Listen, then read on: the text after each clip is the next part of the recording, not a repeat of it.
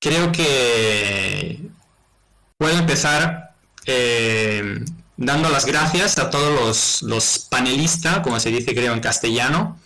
Eh, Cecilia Carnielutti, de la, bueno, yo lo pronuncio a la manera italiana, espero que está bien. De la Universidad Nacional de Córdoba, Paolo Monella, que de la Universidad de, Roma La Sapienza, y Gabriel Teixeira, del Instituto Federal de Río de Janeiro, eh, en Brasil. Y en esta sesión vamos un poco más a, enfocarnos sobre algunas, digamos, prácticas, experiencias y, también, digamos, mm, en, la última, en la última ponencia, que es la de Pablo, voy, voy a dar la palabra antes a, Cecilia, luego a Gabriel y por último a Pablo, porque Pablo también tiene unas eh, diapositivas, bueno, en su, en su presentación una eh, unas propuestas, ¿no? O sea, lo que se está haciendo, sobre todo en Europa. Entonces vamos a tener una perspectiva de las herramientas y de las plataformas que se utilizaron y que se siguen utilizando en la pandemia, durante esta pandemia, en, eh, Europa, eh, en Argentina, bueno, en Europa y en, y en, Latinoamérica. Entonces creo que va a ser muy, muy interesante. Y yo comparto todo lo que, mm, dijo Valeria en su presentación de la de, este, este, panel. Y no quiero añadir mucho más desde el punto de vista teórico porque, bueno, a lo mejor puedo, luego se puede discutir, pero quiero empezar esta discusión eh, con algunos, algunas noticias ¿no? tomadas de la prensa, tal, tal como son, porque a lo mejor nadie se está dando cuenta, bueno, nadie, nosotros sí que estamos aquí, pero mucha gente no se está dando cuenta de lo que está pasando día por día, ¿no? Si a cada día tenemos una noticia nueva. Voy a, voy a empezar la, la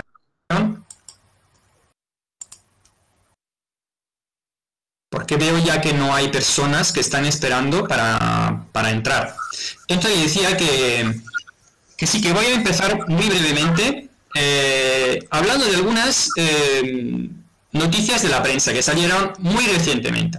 La primera es justamente eh, conectado a lo que yo la descubrí gracias a, Mauricio Berger, o, Berger, si queremos darle, o sea, pronunciarle a la francesa, que la Universidad de Córdoba, la, Universidad Nacional de Córdoba en Argentina, está, está digamos, eh, mm, haciendo un convenio, un acuerdo con Facebook. Es decir, Facebook desembarca como plataforma en las universidades. Así, ¿no?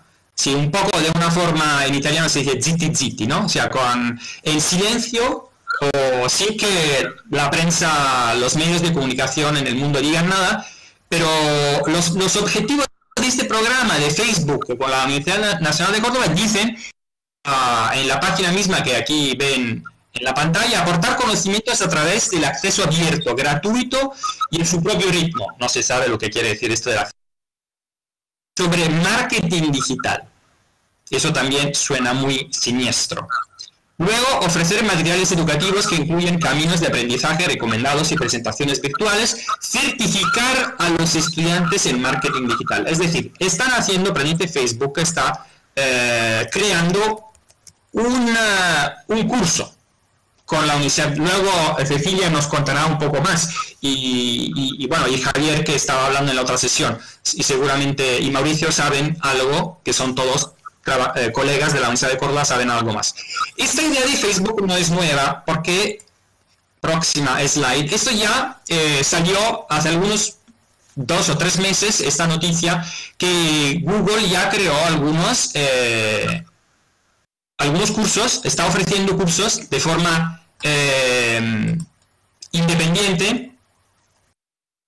Eso es interesante, independiente, porque en el, sentido de que no tiene, eh, es como una, eh, o sea, no, está, no es un convenio, no es un acuerdo con una universidad, sino está ofreciendo como, como si fuera como si fuera una universidad, un colegio, una escuela, lo que sea, está ofreciendo sus propios diplomas.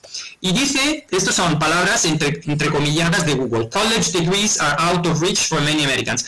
Eh, o sea, que están fuera, o sea, no todos los, los, los, norteamericanos pueden participar en la educación, pues entonces nosotros, dice Google, el Senior Vice, eh, Kent Walker, el, el, vicepresidente de Global Affairs de Google, we accessible job training solutions, ¿no? To help America recover and rebuild. Eh, no, esa es toda la retórica de la recuperación durante la pandemia.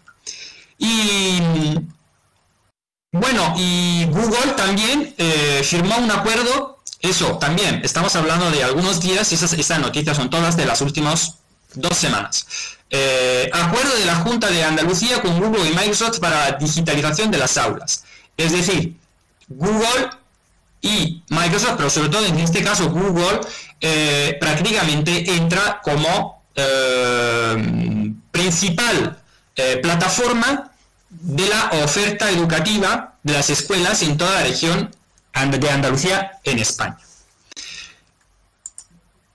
Última noticia, que es quizás la más escalofriante, pues hablamos de Facebook, hablamos de Google, y ahora llega Microsoft. ¿Qué está haciendo Microsoft? Pues un programa que, un programa que se llama Reflect, que ha sido pensado y desarrollado para recibir, eh, digamos, comentarios por parte de los estudiantes relativos al moral después de una clase, es decir, comunicar ¿no? a los profesores, al colegio, al, yo que sé, a los eh, a la administración del, colegio de la escuela sus, propios, digamos, eh, estado de ánimo, ¿no? Se dice aquí en, italiano, creo que en castellano también. En fin, eh, voy concluyendo diciendo que esta es una, una clara, digamos, todas estas noticias que han aparecido, es una clara señal de que no, estas plataformas no están sencillamente, eso es lo que quería, quería subrayar, estas plataformas no están sencillamente ofreciendo unas herramientas. Estas plataformas están ofreciendo la educación y formación en lugar de la escuela y de las universidades. Esto es lo que está pasando. Es decir, eh, aquí en Italia no hubo prácticamente debate sobre este tema, pero es de una gravedad increíble que los rectores que el Ministerio de la Educación, por lo que es la escuela y los rectores de las universidades, por ejemplo aquí en Italia, me refiero aquí en Italia, no se den cuenta de que estas plataformas están robando en casa de las escuelas y de las universidades. Se quieren sustituir en este, hasta ahora, están como no eh, testando el, terreno, están, están viendo qué, qué pasa, pero es muy evidente que esa es una formación, estas plataformas van a ofrecer una formación que será en paralelo o en educación pública con, todo lo que es la formación, digamos que hasta hoy hemos eh, experimentado y vivido eh, en nuestros países. Y estoy hablando creo que para todos los que están, lo, que están aquí. Entonces, una, una situación extremadamente seria, grave, muy grave y tenemos que eh, actuar de alguna forma y de manera global, exactamente utilizando estos paneles para eh, reaccionar de alguna forma, o sea, montar, pensar algunas formas de reacción. Y, con eso me, me, tacho, eh, interrumpo y doy la, la, palabra a Cecilia, que que nos hablará de su experiencia en la Universidad de Córdoba y sobre todo con el tema de Respondus, que mm, yo le agradezco de, forma particular, muy especial, porque Respondus, el programa de proctoring, eh, yo lo descubrí y fue, digamos, una de las... Eh, me inspiró a escribir mis primeras cartas a, mis mi departamento, a mi universidad, para reaccionar contra lo que estaba pasando, ¿no? Es decir, eh, porque de hecho es una, una forma de espionaje de los estudiantes y de los y también claro de los profesores. Cecilia, por favor. Hola, bueno, buenas tardes, eh, buenas noches, no sé cómo funciona en cada lugar. Em, Bueno, primero que nada, agradecer un montón la convocatoria. La verdad es que fue muy sorpresivo ver las consecuencias que tienen las cosas que uno moviliza desde el territorio, ¿no? Uno siempre está, cuando, sobre todo este año que ha sido tan demandante a nivel educativo, eh, hemos corrido detrás de muchas cuestiones y, darnos cuenta que esta corrida nos permitía ponernos en un lugar incluso mejor del que estábamos o creíamos que estábamos parados. Eh, bueno, nos alegró muchísimo. Eh, también muy conmovidos y conmovidas, digo en plural, porque siento que hablo en representación de toda la gente con la que venimos militando estos temas en la provincia de Córdoba y en todo el territorio eh, en general, porque el Foro Social Mundial y en este caso, bueno, el Foro de Democracia y Tecnología siempre ha sido un espacio de referencia desde que estudiábamos en, la universidad, un espacio desde donde se piensan las cosas para volver ¿no? al territorio. Creo que ese es como siempre el, desafío de estos espacios, entonces, bueno, es, como muy conmovedor en ese sentido. Eh, participando del panel anterior, em, creo que no hay muchas cuestiones innovadoras que, yo pueda aportar, sobre todo en relación a lo que Teresa eh, ha planteado, también en, relación a lo que Paola plantea de la colonización del territorio y del conocimiento en general.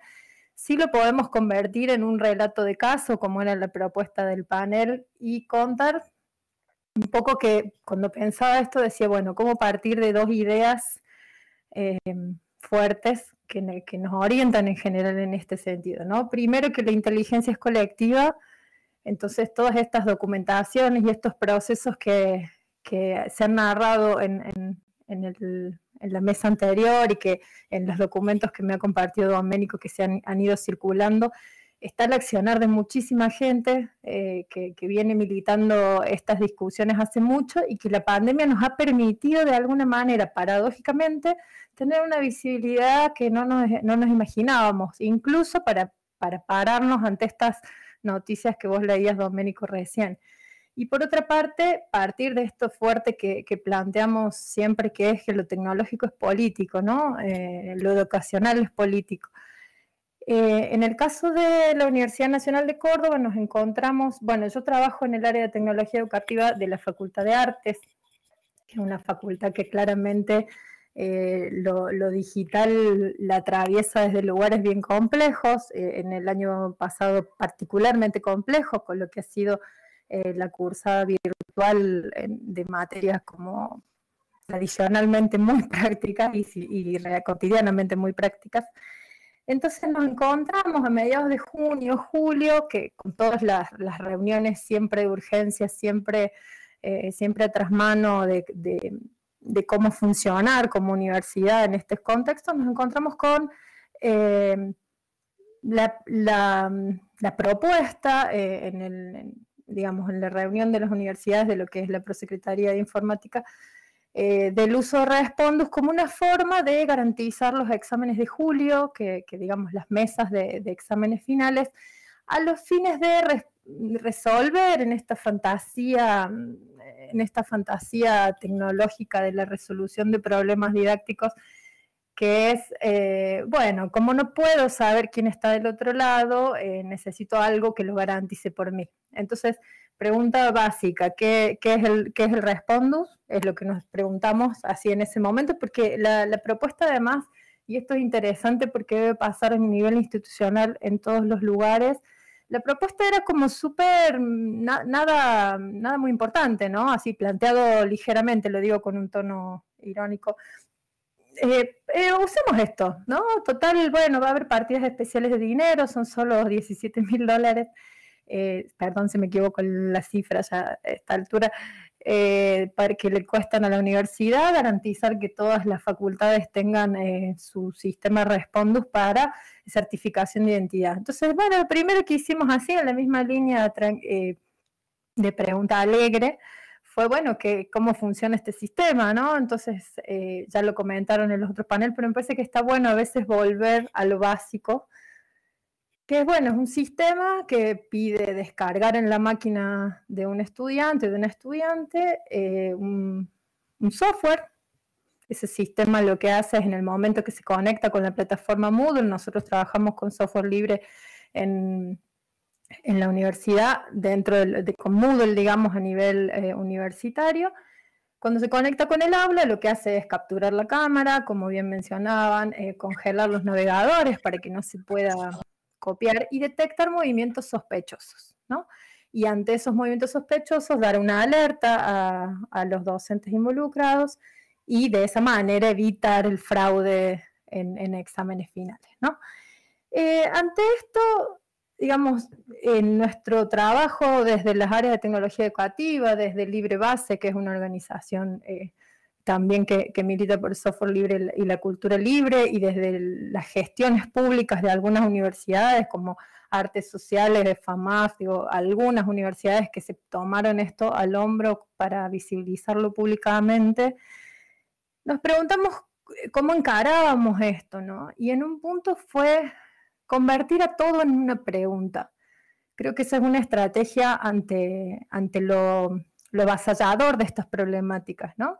Es convertir una pregunta. Entonces empezamos, porque ¿cómo dialogamos con estudiantes y docentes? ¿Cómo dialogamos con alguien que, para quien la tecnología es simplemente algo que le sirve para resolver cosas, que no se problematiza estas cuestiones, que el tema de los derechos es algo tangencial, que está garantizado más bien eh, por otras personas.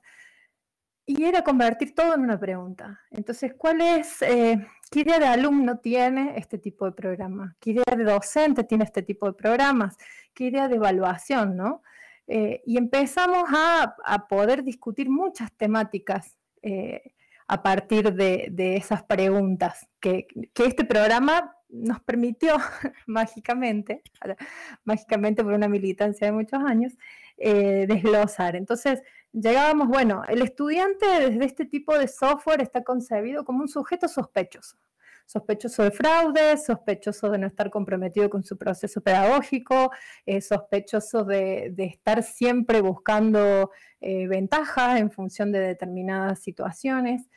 Eh, el docente es pensado como un administrador de evaluaciones, ¿no? Como el conocimiento es pensado como una instancia memorística donde yo claramente ante una consigna planteada en un aula virtual podría googlearla y responderla en los tiempos pautados. Digo, ahí hay todas unas concepciones previas en relación a, qué es el conocimiento y a cómo se construyen las instancias evaluativas que este, que este programa nos permitió poner en jaque, ¿no? Nos permitió poner en, juego, decir, eh, este es el tipo de evaluaciones que estamos proponiendo, eh, este es el formato donde queda la relación de la evaluación como una instancia más del aprendizaje. Perdón si me, meto demasiado en estas temáticas, pero es que cuando, cuando hablaba Paola de, eh, bueno, de la universalidad de la vigilancia, la universidad de la vigilancia, eh, estas son las cosas que nos permitían corrernos de ahí en, la discusión, porque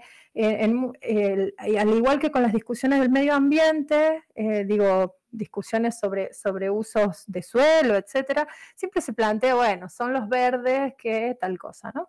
Bueno, en este caso se plantea, ah, los de software libre siempre quieren que todo sea libre, pero si hicieran un software de estos libre, estaría todo bien. Y eso es lo que eh, claramente eh, no, no, queremos que suceda, que se convierta en una disputa entre, entre una empresa y un grupo de ñoños, perdón la expresión regional, que, simplemente quieren eh, que, sea, que se hagan las cosas de la, manera que, quieren, ¿no? Entonces, bueno, ante esta fantasía de, de, la solución tecnológica a los problemas pedagógicos entran, por supuesto, otras cuestiones de desigualdades se plantean en lo tecnológico de modo muy fuerte, como por ejemplo la desigualdad, eh, digo, de, la, la desigualdad de la educación que plantea la masividad de ciertas aulas.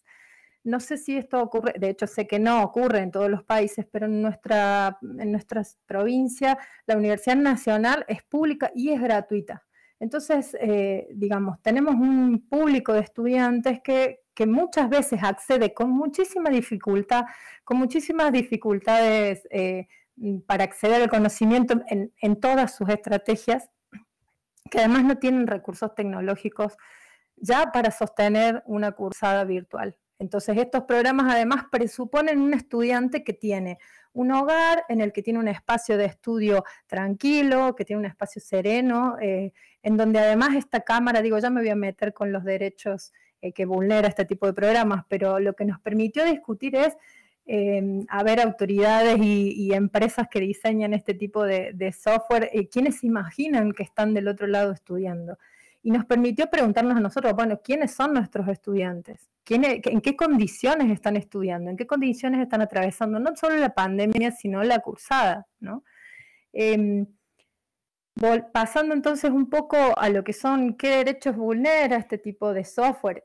Eh, bueno, seguridad de datos ya lo han conversado muchísimo en esto de graban un entorno privado, eh, las imágenes se retransmiten a un servidor que ni siquiera está en territorio nacional, con lo cual las legislaciones tampoco se aplican, porque digo, el, planteo de la desterritorialización eh, de la tecnología termina siendo vacío porque todo se retira territorializa en algún momento, ¿no? Y entonces, bueno, tenemos un montón de, casos a nivel mundial en donde eh, usos tecnológicos se eh, juzgan de diferentes maneras en diferentes territorios, digo. Eh, y en este caso, los datos de nuestros estudiantes y nuestras estudiantes están yendo a un servidor extranjero, datos privados, documentos, imágenes públicas, en muchos casos de menores de edad eh, digo, no, no, estamos hablando de nivel medio, pero en la universidad hay escuelas universitarias que tienen estudiantes de 11 años, de 11 a 18, 19 años, con lo cual esas imágenes que son de menores de edad están yendo a un servidor externo. Ni hablar del código cerrado, digo, eh, esta imposibilidad de auditar el software que se propone hay una vulneración de derechos educativos, de derechos de acceso, que es lo que comentábamos antes, ¿no? El no poder garantizar las condiciones en las que un estudiante cursa su carrera y rinde una instancia evaluativa eh, que le permita estar presente de esa manera. ¿Qué pasa? Bueno, y esto lo, hay una legislación que preserva esos derechos estudiantiles y el acceso a la educación. Sin embargo, hay legislaciones que empiezan a cruzarse cuando en un documento institucional se propone que la cuenta institucional está vinculada a una empresa privada como es Google, ¿no? Eh, cuando yo para acceder a mi cuenta de arroba UNC tengo que entrar a través del Gmail. Digo, eh, se empiezan a cruzar ciertas legislaciones que, digo, la pandemia nos permitió poner en cuestión estas, estas dimensiones, pero a la vez va haciendo entrar por abajo, como, como agua por debajo de la mesa, un montón de otras en función de la urgencia, de la, de la simplicidad, como bien se planteaba en el otro panel. Los derechos de acceso, ¿no? Eh, requiere, bueno, requiere, digamos, si quisiéramos garantizar un tipo de sistemas así en la universidad pública tendríamos que tener un sistema y una infraestructura mayor que en este momento no, está disponible, ni hablar de condiciones de accesibilidad para discapacidad, ni hablar, digo, digo entran tantas cuestiones cuando uno plantea eh, un tipo de software de, este tipo a nivel universitario. Em, convertir todo esto en preguntas, es lo que nos permitió tener una visibilidad que logró que muchas universidades, eh, perdón, facultades dentro de la universidad se pronunciaran en contra, como Doménico está ahí compartiendo el, pronunciamiento de consejeros de, filosofía, pero también de decanos de, muchas facultades, y nos permitió conversar de vuelta. Em, en estos foros, en estos espacios, uno siempre tiene la idea de que son discusiones viejas, eh, porque lo son, em, a través de elementos nuevos que las van actualizando. Pero para mucha gente, eh, sobre todo en el ámbito educativo, son, son discusiones nuevas y uno tiene que volver a darlas con, la misma pasión, si se quiere, eh, y con el mismo nivel de detalle que le permitió, que me permitió a mí, por poner un ejemplo, en su momento llegar a estas conclusiones. ¿Cuáles fueron los primeros elementos que me permitieron llegar hasta ahí?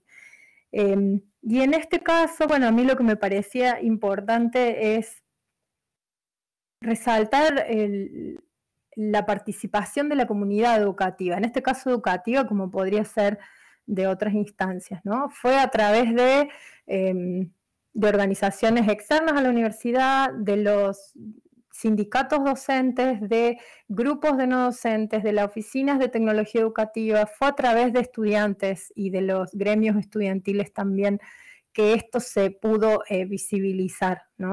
va a ser un planteo institucional, porque la institución es un espacio de disputa, claramente, eh, pero esta comunidad activa que siempre requirió y en eso la filosofía del software libre sigue pareciéndome eh, como tan representativa de este, de este espíritu que el foro social tiene en general, ¿no? Es a través de la comunidad que estas cosas se modifican. Eh, sabemos que las empresas van a intentar eh, obtener ganancias. Coincido con lo que planteaba Doménico en que lo que se propone es un cambio en la forma de la construcción del conocimiento, pero de la apropiación del conocimiento también. Y en ese sentido, bueno, tenemos políticas de copyright, tenemos un montón de cuestiones que atraviesan, eh, atraviesan este caso en particular que nos toca eh, en este momento trabajar, ¿no? Em, a nivel de escuelas medias, en, Córdoba, que es el caso que más conozco, también em, también, eh, perdón, eh, me perdí con la pantalla. Em, también sucedió que, bueno, se propone el Google Classroom para, y, digo, volvemos a esto, ¿cuál es nuestro territorio? Estamos hablando de que en el interior de la provincia el acceso a la conectividad es tan escaso que de un curso en el que yo trabajo como docente, menos del 5% logró cumplimentar el año utilizando cualquier tipo de tecnología. Olvidar Google Classroom, ¿no? Entonces, eh, bueno, se cruzan los derechos con, las cuestiones tecnológicas y volver, eh, digo, si se quiere, este, este, caso así sintéticamente narrado, eh, para mí es, importante digo, en este panel que habla sobre caso y no sobre teoría, porque insisto que ya Teresa, Javier y Paola han desarrollado como, lo más específico de lo, conceptual, pero volver a convertir en pregunta lo que nos atraviesa, para, porque si no ampliamos esta, base, eh, digo, no, ampliamos eh, el cómo dialogar con cada uno de los sectores involucrados en, esta, en la construcción del conocimiento, en la transmisión del conocimiento, en la educación en general, eh, vamos a tener muchísima claridad, pero poco apoyo a la hora de, de ofrecer una resistencia, pero sobre todo de construir una alternativa. ¿no? Yo me preguntaba, y ahora cierro, eh, cuando hablaba Paola, digo, ¿cómo construimos narrativas diversas? Si, ¿Cómo hacemos esa construcción en, instituciones tan eh, antiguas? ¿no? En el caso de la Universidad Nacional de Córdoba, una institución de 400 años con prácticas muy arraigadas, y cómo pasar de la instancia más de resistencia, que es sumamente necesaria, pero que también tiene, tiene un techo si no, está, si no vamos construyendo alternativas de narrativas propias. Y bueno, y entonces en ese sentido celebro, celebro este espacio y bueno, quedo atenta al resto de los panelistas y a las preguntas que puedan surgir después. Muchas gracias eh, a Cecilia eh, voy ahora a dar la palabra a, Gabriel Teixeira. Un segundo. Ok. Eh, eh, sí, muy interesante lo que las preguntas que hace Cecilia, ¿no? Cómo, cómo construir unas, narraciones alternativas. pues bienvenido a Gabriel Teixeira, espero que lo estoy pronunciando bien. Eh, Gabriel Teixeira es eh, doctor en ciencias sociales y mm, profesor en el Instituto eh, Federal, sí, espero, estoy, estoy traduciendo, sí, es el, el Instituto doctor, sí, el profesor Instituto Federal de, Río de Janeiro y miembro, eso me parece muy interesante, de la red de educadores en lucha, en lucha que actualmente eh, está eh, desarrollando una, eh, una, una, causa, unas acciones, unas actividades contra instituciones privadas en razón de fraudes y otras irregularidades que se cometieron en, en Brasil con eh, referencia, con, en conexión exactamente con algunas plataformas. Gabriel nos va a contar lo que es su experiencia, porque en este momento ha sido también, eh, bueno, no solamente es un profesor, pero es también, digamos, activista en el sentido de que está involucrado en, una, en un juicio eh, contra el grupo, eh, no sé si ustedes leyeron la, el resumen que acabo de poner en las notas compartidas, en Share Notes. Eh, está haciendo, digamos, está actuando como testigo en un, juicio contra esta multinacional eh, norteamericana que se llama Laureate. Eh, y si no me equivoco, Gabriel, me parece que este Laureate, que es un conglomerado, digamos, es una, es una multinacional que ofrece formación de varios, a varios niveles, ¿no? En Brasil, bueno, en todo el mundo, tiene probablemente no, millones de estudiantes en, en el mundo tiene casi 200.000 estudiantes en Brasil. ¿Es, ¿Es, cierto? Pues puedes activar el micrófono. Ahora te, te, doy, te doy la palabra. Me desactivo yo. Bem, obrigado. É, boa tarde a todos, a todas. Eu sou Gabriel, falo do Brasil. É, queria primeiro agradecer a Domênico, Maurício, pelo convite. É, vocês vão ver meu filho aqui em alguns momentos aparecendo, porque é trabalho domiciliar tem disso. Então, peço já desculpas para a apresentação. E, né, e desde já queria também me desculpar pelo português. Vou falar devagar para que todos e todas consigam me entender e queria contar um pouco do que acontece aqui no cenário brasileiro.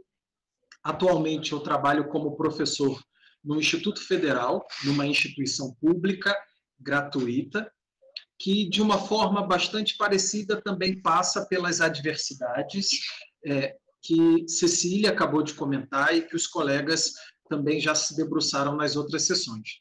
É, só que eu queria relatar uma experiência que ocorreu é, no setor privado. Antes de trabalhar no Instituto Federal, trabalhava no setor privado que tem, que tem características muito singulares aqui no Brasil. É, o setor privado, desde os governos do PT, do presidente Lula, ele acabou se oligopolizando e você criou pequenos monopólios em função dos benefícios públicos que o Brasil deu para esse setor. Então, você, é, o mercado de ensino superior brasileiro passou por uma concentração poucas empresas dominam diversas, dezenas, centenas de universidades aqui no Brasil. Então, no caso, esse grupo Laureate norte-americano é um grupo é, com suas ações negociadas na Bolsa de Valor, sediado em Baltimore.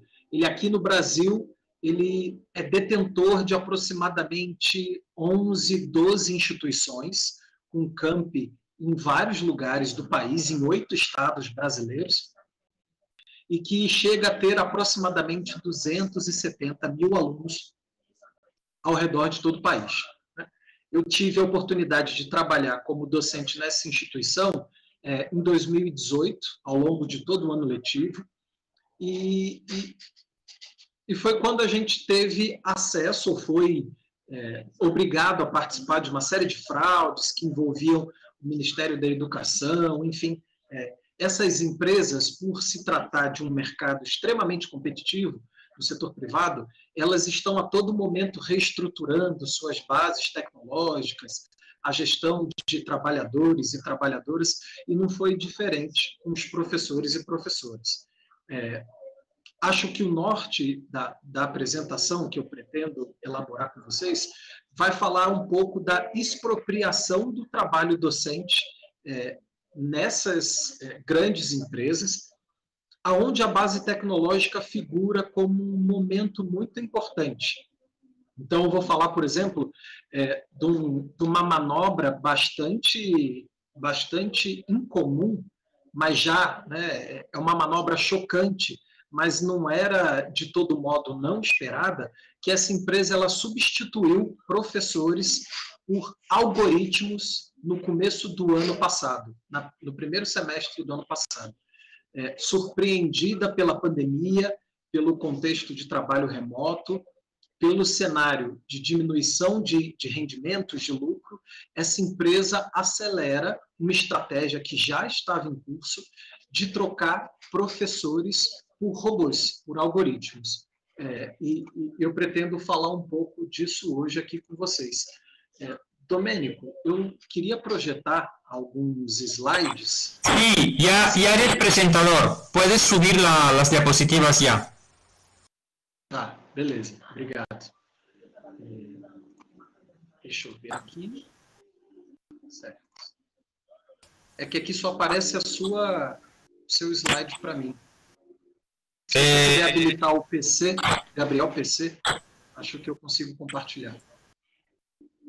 Sim. É... Sí.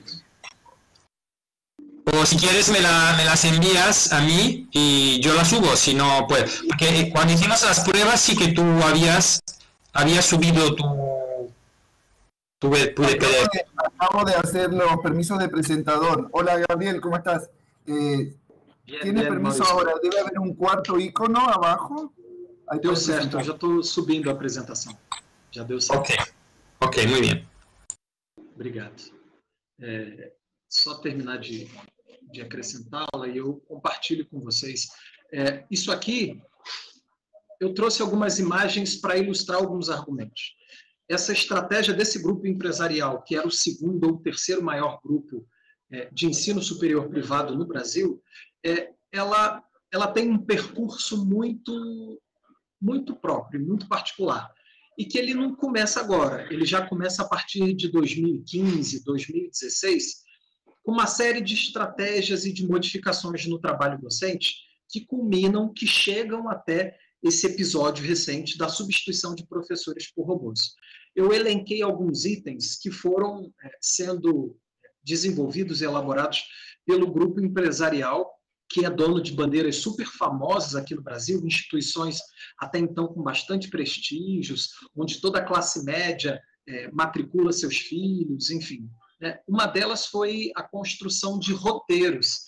Os professores eles eram contratados ou eram obrigados, enquanto professores, a elaborarem roteiros das suas disciplinas. Isso antes do advento desses algoritmos, né? É, e, e, a ideia desses roteiros era que é, já começasse a haver uma expropriação do trabalho docente, esses professores passaram a ser prescindíveis. A empresa, com esses roteiros na mão, poderia demitir os professores, contratar outros funcionários por um salário bem mais baixo, professores apenas com graduação, e, munidos desse roteiro, é, eles poderiam oferecer quaisquer disciplinas. Então, era uma forma da empresa fazer mais com menos. É, aqui, só para vocês terem uma ideia, é uma grade é uma grade de uma professora formada em pedagogia. Era uma pedagoga que nessa instituição, por conta dos roteiros, ela dava aula de direito trabalhista, direito empresarial, comunicação empreendedorismo, legislação prática e profissional, é, corpo, movimento e arte na educação infantil. Só para vocês terem uma ideia, essa pessoa era formada em pedagogia, mas dentro dessa empresa, munida desses roteiros, previamente produzidos pela corporação, ela conseguia, pelo menos aos olhos da empresa, ministrar qualquer disciplina. Bastava apenas se guiar pelo roteiro que qualquer disciplina conseguiria ser oferecida nesses termos. Né?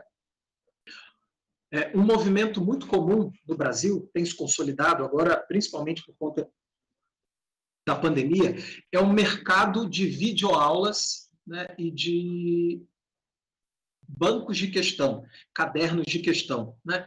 É, com essa roteirização de disciplinas, as instituições privadas de ensino superior começaram a demitir aos montes aqui no Brasil.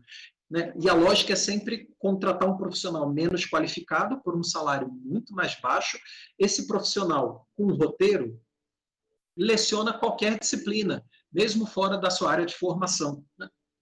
E aí, para compensar esse, esse gap, a empresa passou a terceirizar e a comprar videoaulas é, e bancos de questão. Então, como já não existe tanto emprego, tanta vaga de trabalho, profissionais, doutores, mestres, uma, uma ótima formação aqui no Brasil, vem como única opção de emprego fazer freelance produzindo videoaulas ou bancos de questão para as instituições. Né? Isso, obviamente, cria uma massa de desempregados, de pessoas com uma altíssima formação que não encontram espaço nas instituições de ensino privado aqui é, no Brasil, e leva para aqueles que continuam ou que têm a sorte de continuar empregados a um rebaixamento expressivo dos salários. Né? É, nesse, nesse próximo slide, a gente tem uma ideia das, é, da, da presença das instituições do Grupo Laureate no mundo inteiro. Aqui na América Latina, Honduras, México, Peru, na América do Norte, na União Europeia, e aqui, especificamente, as instituições que pertencem a esse Grupo Laureate. Né? É uma grande instituição que tem cerca de, de, um, de um milhão, um milhão e meio, se eu não me engano, mais até uns dois milhões e meio de estudantes em todo o planeta. E a gente fala da Laureate, mas essa é a realidade dos outros setores privados, ao menos aqui no Brasil. Isso é só para a gente ter uma ideia da, da presença dessa instituição. Aqui no, no, Brasil, ela é dona da Embi Morumbi, FMU, FADEX, são várias instituições de prestígio é, em todo o país. Né? Trouxe uma outra informação. Isso aqui é, é, é um pouco o local de trabalho dos professores. Né? É, me parece muito mais um call center, e essa foi a minha experiência docente nessa instituição. A gente trabalhava, ainda tinha uma certa liberdade de produzir conteúdos virtuais, mas já era tudo muito, muito fechado, é, as questões já vinham prontas. Logo que eu fui demitido, os colegas que assumiram é, os nossos postos de trabalho já não produziam mais as próprias videoaulas, né? essas aulas já eram compradas e eles ficavam ali num papel de, de, de gerir alunos, interação de fóruns e coisas do tipo. Reparem que a conformação do espaço dessas instituições são uma conformação de call center. Dezenas de professores, centenas, em salas de um mesmo prédio, cada um com a sua baia, no seu compartimento de trabalho, no seu computador, atendendo é, milhares de alunos. Essa estratégia de roteirizar, de comprar videoaulas, de comprar banco de dados, permitia que a empresa é, acabasse impondo aos professores uma rotina bastante singular de trabalho. Posso resolver depois? Posso resolver depois? Tá Só um segundo. É, desculpa, gente. É, Para vocês terem ideia, é, esse trabalho de roteirização de produção de, de videoaulas compradas permitia que a empresa conseguisse é, impor ritmos de trabalho de 20 mil alunos por professor, 40 mil alunos por professor ao semestre. Eu cheguei a lecionar para 17 mil alunos num único semestre, que era tudo produzido em massa. Né? E, e a lógica sempre da plataforma e das tecnologias digitais é, vinham sempre no sentido de é, potencializar, amplificar o trabalho docente, né, mas também padronizar e massificar os conteúdos produzidos por essas empresas. Né. Então, está aqui, trabalhávamos como se fosse um call center, é, com ritmos e metas alucinantes de trabalho. É, eu cheguei a lecionar para 20 mil estudantes, colegas meus lecionaram para 40 mil estudantes num único semestre. O próximo slide né, foi, foi uma das denúncias que a gente fez no começo desse ano, mas que eu acho que mostra o percurso desse grupo e a lógica é, da gestão tecnológica do setor superior privado aqui no Brasil. Mas na América Latina como um todo, na América do Norte, esses conglomerados de educação privados têm agido com essa estratégia. É, fazer mais com menos recurso, com menos trabalhadores, é, com com menos operações e gestões operativas. Né? Então, a empresa, no começo de 2020, adota um software que, por meio de algoritmo, começa a corrigir avaliações dos seus milhares de estudantes mundo afora. Fizeram isso sem avisar os alunos e sem avisar os professores, que descobriram ali, durante o próprio, o próprio semestre, que eles já tinham perdido a atribuição de corrigir imaginem vocês o que é corrigir 20 mil atividades por semestre. É, é uma coisa insana, você não corrige efetivamente, mas ainda existia a interação do professor, ainda existia aquele olhar subjetivo do formador, que via de regra tinha uma boa formação, mas que já era numa lógica completamente subvertida, digamos assim. É, e aí, com esse movimento de adotar um algoritmo de correção, é, a empresa aí sim consegue explodir. E se a gente atendia 20 mil, 40 mil estudantes, com a adoção desse algoritmo, os professores passam a cuidar de turmas com 50 mil, 60 mil estudantes. É, eu cheguei a cuidar de 10 turmas enquanto trabalhava na instituição. A partir da adoção desse algoritmo, a empresa começou, é, obrigava os trabalhadores a gerirem algo em torno de 20, 30 classes, cada uma com milhares de estudantes. Então, imaginem a loucura, imaginem a precarização do trabalho, imaginem o ritmo alucinante de trabalho é, desses profissionais durante um período letivo. Imaginem também a qualidade da formação que tu oferece para milhares de, de, estudantes brasileiros, mas não só daqui, de toda a América Latina, da União Europeia, da América do Norte, né? É, e aqui do lado a gente tem uma, uma ilustração de um dos documentos disparados pela própria coordenação acadêmica da instituição. É, aqui em São Paulo, eu falo de São Paulo no momento, estou em São Paulo no momento, por conta do trabalho remoto. É, todo, todas as disciplinas remotas dessa empresa eram operadas de São Paulo. Então, para o Brasil inteiro, atendíamos para o Nordeste, para o Norte, para o Sul do país, mas todo esse processo de elaboração, de produção, de trabalho docente era feito desde São Paulo. Então, é, essa concentração ajudou os professores a se organizarem, né, permitiu ali é, uma certa conversa entre os docentes, troca de informação, trocas de experiências, né? E esse foi um dos documentos que localizamos, foi um documento disparado pela coordenação acadêmica do grupo, né? E não sei se vocês vão conseguir ver, mas aqui grifado em amarelo tem um adendo da coordenação informando, né, os professores tinham acabado de descobrir que tinha um algoritmo de correção automatizada rolando nas plataformas, é, eles não foram avisados disso, e depois a coordenação foi enfática nesse documento de que era fundamental que os alunos não soubessem que estavam sendo avaliados por robôs. Né? Não avisem os alunos. Se eles perguntarem, diga, digam que são vocês os responsáveis pela correção. É, a gente fez uma denúncia que repercutiu bastante no Brasil, saiu em todos os jornais, é, chegou no Ministério da Justiça, chegou no Ministério da Educação, mas o Brasil vive um momento muito delicado, não que não fosse assim antes, mas as mantenedoras, as corporações por trás dessas instituições tem uma forte presença e um forte lobby no Ministério da Justiça, no Ministério da Educação. Então, é, é uma luta desigual, mas é uma luta que está sendo travada nesse momento. Né? Só para mostrar que o que parece distópico, eu falava disso com o Domênico, né? é uma realidade que se imagina como possível na Europa, aqui no Brasil é, é história para criança dormir, é uma realidade concreta. É, professores substituídos por robôs. A gente, eu na, na, graduação, estudando sociologia do trabalho, eu pensava um pouco: será que um dia vão trocar plenamente é, os trabalhadores por robôs? A gente se pensava, a, a gente pensava que em algumas em alguns setores da economia é plenamente possível, automobilístico, né? Agora, em outros, como trocar um professor por um robô? A tecnologia já está transformando isso numa realidade. Aqui no Brasil, professores foram é, substituídos por robôs, os alunos não foram avisados. Isso é, como, como Cecília falava antes, do cruzamento de várias leis e possibilidades de responsabilização, isso incorre, no mínimo, em uma dezena de crimes no Brasil. Leis contratuais, civis, direito do consumidor, é, lesão ao sistema público de ensino, porque, ainda que seja privado, o Ministério da Educação ele é responsável pela gestão de todo o ensino superior nacional.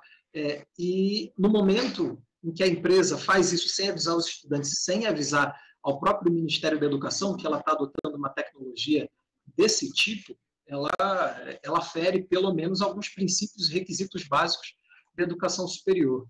É, e aqui uma última informação, né, eu encerro. É, a gente pontuou, a gente trouxe para o debate, né, conversando com o Domênico e com os colegas, a gente traz essa experiência da adoção de algoritmos e da substituição de professores por robôs, mas a gente tem muita clareza que isso faz parte de um modelo de negócios, né? É, aqui no Brasil, as, as, instituições públicas elas também têm adotado diversas plataformas da Google, da Microsoft, é, e não só as instituições de ensino, mas as próprias instituições de justiça. Nesse processo de denunciar a Laureate, a gente fazia reuniões com o Ministério Público Federal e o aplicativo utilizado era o Google Meet. Então, uma contradição, né? Imagine se ao invés de denunciar a Laureate, tivéssemos que denunciar irregularidades cometidas por corporações como a Microsoft, como o Google, utilizando a plataforma desses grupos para reuniões que visam, em tese, apurar a realização de ilícitos, né? Fica uma pendência. Mas, mas para a gente é muito claro que isso diz respeito a um modelo de negócios, né? É uma educação oligopolizada, concentrada, com poucas empresas operando no mercado nacional. É, tem um quesito de cartel nos salários, né? ou seja, todas as empresas combinam um salário médio para os professores, e a, a ponto de um professor ganhar por hora aula algo próximo de 4 dólares a hora aula trabalhada no ensino superior, que é um salário baixo para padrões brasileiros, né? É, então, salários muito baixos, mas que já estão padronizados em toda a rede privada. É, mas essas empresas trabalham com uma lógica de escala. Então, usar algoritmo permite à empresa enxugar custos. Professor é enxergado como custo, sempre foi, né? Mas agora tu tem base tecnológica que permite expropriar essas tarefas, né? O que sobra para os professores são vínculos precários, produção de videoaulas, você é, faz contratos pontuais, precários, sem acessar direitos trabalhistas, sem nenhuma garantia de que você vai ser recontratado no futuro, cedendo direitos autorais e de imagens, e esses, e esses produtos, esses materiais vão rodar nessas instituições. É, eu cheguei a assinar, enquanto trabalhava como docente, é, sessão de direitos autorais por 70 anos. Né? Ou seja, todo o material que eu produzi para aquela instituição é, fica cedido automaticamente para usufruto da empresa por 70 anos. Eles certamente devem estar reproduzindo uma videoaula que eu produzi há dois, três anos atrás. Deve estar rodando nesse momento para algum aluno de algum lugar do Brasil ou até mesmo de outro país, né? E aqui eu trouxe duas outras reportagens mostrando esse mesmo grupo fraudando o Ministério da Educação no credenciamento e na avaliação de cursos do ensino superior para essas empresas é, trabalhar com os requisitos mínimos estipulados pela legislação brasileira, que já não são super requisitos, né? mas cumpri-los já é uma questão de custo. É caro para essas empresas ou é oneroso demais trabalhar conforme a legislação. O que, é que elas fazem? Elas produzem a documentação de forma irregular. Nada do que a legislação brasileira estipula como requisito no ensino superior é cumprido por essa e por outras empresas do setor privado. Só que na hora da fiscalização do MEC, elas produzem, fraudam, falsificam toda a documentação é, para fins de avaliação. A gente documentou todo esse processo, denunciamos novamente. Ou seja, quando você olha para o conjunto de estratégias, substitui o professor por algoritmo, frauda todos os requisitos, padroniza e massifica. É, se a gente para para pensar nas implicações pedagógicas desse processo, é muito grave. São gerações, um país continental como o Brasil, sendo formadas de forma passiva, de forma precária, porque quem não tem dinheiro vai pagar um curso que não tem nem professor, vai ser formado por um algoritmo. É um robô que corrige a tua atividade, né? E a gente detectou que esse robô trabalha mal. Esse, esse robô tem problemas seríssimos de programação é, as correções são ridículas, são passíveis de erros inúmeros, né? É, mas quem tem dinheiro vai conseguir contratar um curso legal, porque a empresa continua oferecendo seus cursos de qualidade, ao passo que oferece também para trabalhadores, trabalhadoras, as classes mais populares, ela oferece cursos muito baratos, mas onde você não tem professor, onde você tem, se tiver um professor, ele administra 30 turmas, 40 turmas e 60 mil estudantes. Então, uma realidade é, bem distópica que já está em curso aqui no Brasil. Né? E quando a gente olha para uma informação interessante, né? a gente foi a fundo na investigação e essas relações promíscuas entre o Ministério da Educação e os representantes do setor privado, ela é histórica não só no Brasil, né, mas em vários outros países, né, não só na América Latina. É, mas é uma coisa interessante. O Ministério da Educação ele convoca fiscais para fiscalizarem as instituições. Né? E a gente percebeu que no caso específico desse algoritmo, ele foi produzido por uma empresa de fiscais do Ministério da Educação, professores e professoras que atuam como fiscais das instituições na ponta, que talvez perceberam ali uma oportunidade de negócios, montaram uma empresa, produziram um programa que se chama LTI, que é o algoritmo utilizado pela Rede Laureate, e depois saíram vendendo para várias instituições. É provável que seja esse mesmo programa em curso em outra instituição no momento, né? A Lauret utiliza a inteligência artificial, continua utilizando, foi autuada pelo Ministério da Justiça, pelo Ministério da Educação, mas continua atuando do mesmo jeito. Essa é uma realidade de toda a rede Lauret no país inteiro, mas é também uma realidade de outras instituições privadas aqui no Brasil e que também tem penetração em outros países da América Latina, da América do Norte, da União Europeia.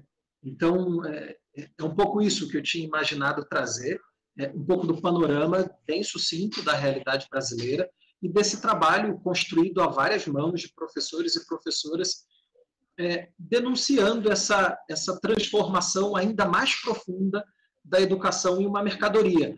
É, coisas que a gente não imaginava que se tornassem possíveis já são uma realidade, é, sobretudo por conta da base tecnológica, da inteligência artificial, dos algoritmos, e aqui no Brasil, especialmente, porque tem uma legislação frouxa e uma instituição como o Ministério da Educação que, que tem dentro do seu quadro grandes representantes desses grupos econômicos. Então, não está muito interessada em fazer frente a, essa, a essas avalanches aí que precarizam o trabalho do professor, que diminuem a qualidade daquilo que é vendido para os alunos e que, em última instância, forma cidadãos e cidadãs é, completamente anestesiados ou com pouca visão crítica é, para esse desenvolvimento e utilização das tecnologias.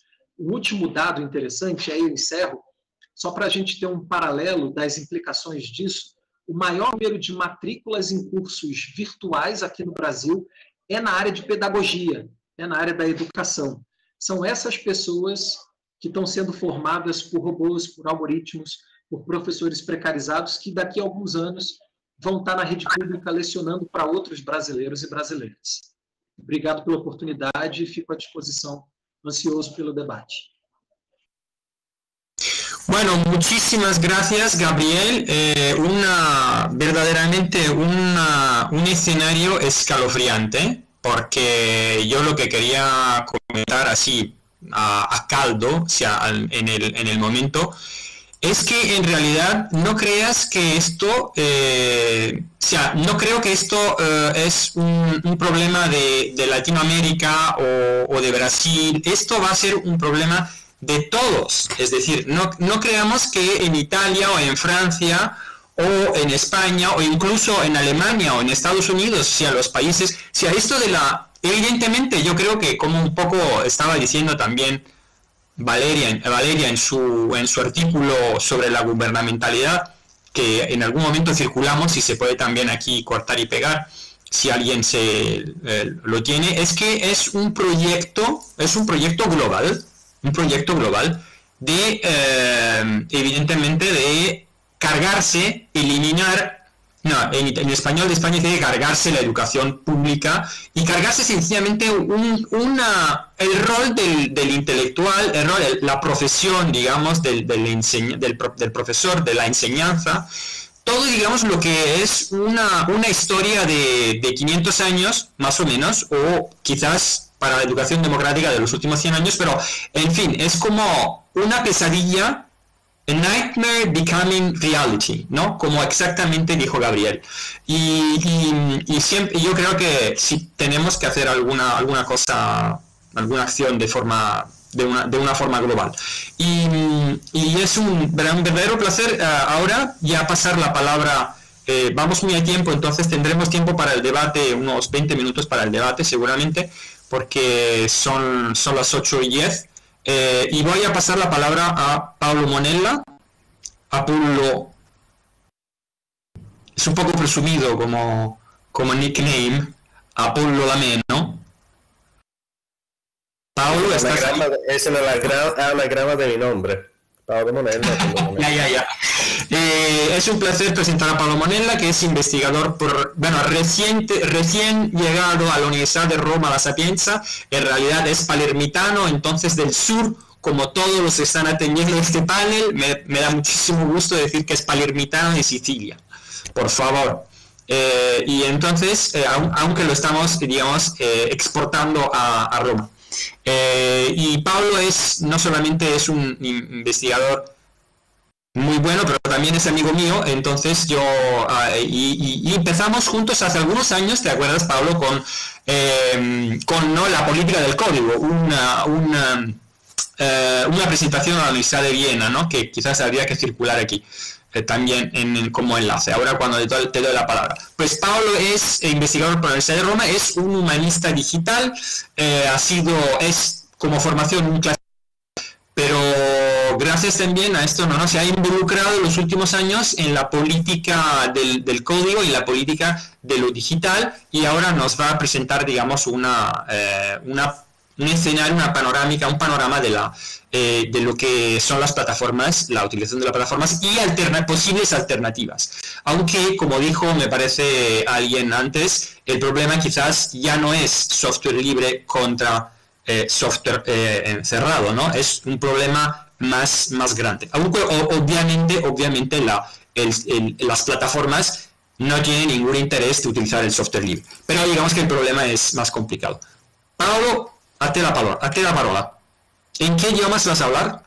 Voy a hablar en español, en español, en inglés, porque creo que sea más comprensible para todo y como, como entienden, mi español es, uh, no sé, lo aprendí en viajando. Bueno, pero lo puedo presentar porque al momento um, salí, uh, I had to go get out of the meeting for connection issues, so you have to make me presenter first.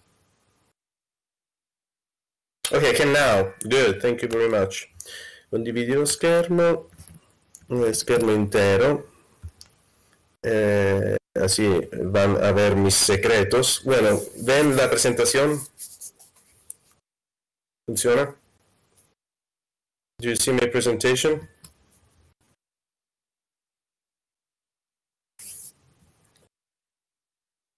I can't hear anything. Domenico, can you see my presentation or not? My slides? Sí, sí, acabo de escribirte que sí, que todos lo Ah, bueno, bueno, sí, sí, I can't see the slides. Okay, so uh, I'll, I'll be talking about the GAFAmification of digital education infrastructures, not gamification, but GAFAmification. And uh, we'll start a little chronometer, so I'll make sure I won't go too long. So what's the deal? The current situation in Italy is that we had the pandemic, all right? In the pandemic, uh, schools and universities alike uh, worldwide they needed to teach at, to teach at distance, uh, distance distance teaching, distance distance learning on online, and they needed platforms. And uh, pretty much all schools in the in the world, and definitely most almost all schools and universities Italy, used the proprietary platforms belonging to GAFAM Google, Apple, Facebook, Amazon, Microsoft. If you go to the website of the Ministry of Education, the Ministry of Education website, the Italian Ministry of Education website, you'll see that uh, the platforms that the, that the ministry suggests to use to universities and schools are Google Suite for Education, Microsoft Office 365, and this WeSchool, which is an Italian platform, which, however, uses Microsoft for cloud. So all the ministry does is go into the broad hands and arms of, uh, of GAFAM. Um, what's the problem? The problem is that the mass profiling, we all know that the business model of those uh, companies is to create psychological profiles of their, of their users. Uh, they say, we won't sell your data. That's right. They would be entirely idiots to sell the data because the data is their gold. The data is the primary matter upon which they build the, uh, the psychological profiles, and then they rent those profiles to their customers. So if a health insurance company knocks at the door of Google and says, I want to sell this health insurance to Paolo Monella, tell me if Paolo Monella is a good match or if he used to be depressed or he, he has a specific condition. Then Google says the investment on Paolo Morella has a 20% return, right? So that's the, bus- the business they do. Um, so they don't sell the data, but they rent analysis based on our psychological profiles. And what we're doing right now is that we're forcing students from the age of six in Italy. In Italy, uh, school starts uh, mandatory school starts at the age of five, six year old. I have a daughter who's eight year old, and I my the school of my daughter asked me to sign a waiver and authorization so that my daughter gets a Google account and can use use Google Suites for Education. I didn't sign it, but the problem is that if I don't sign it or my wife doesn't sign it, then my wife doesn't, my, my daughter doesn't get her right to education. So the goal of Google, the goal of Microsoft is that they can start profiling my daughter from the age of eight. And what kind of data are we sharing with Google? Very sensitive data.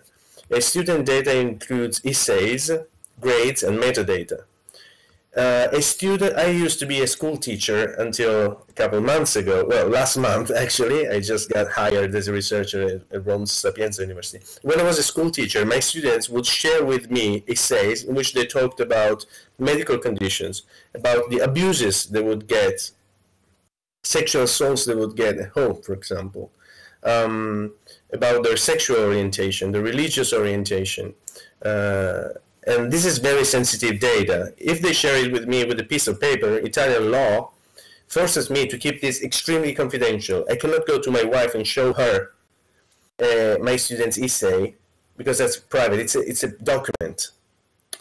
But if uh, the student is in distance learning and shares this document with me through Google Docs, Google Docs reads through that document. Let's not talk about grades, school grades right? If I want to have a profile of a person, uh, grades, school grades or university grades are structured data. This is structured data, it's already in numeric format. It's perfect to build a profile of a person.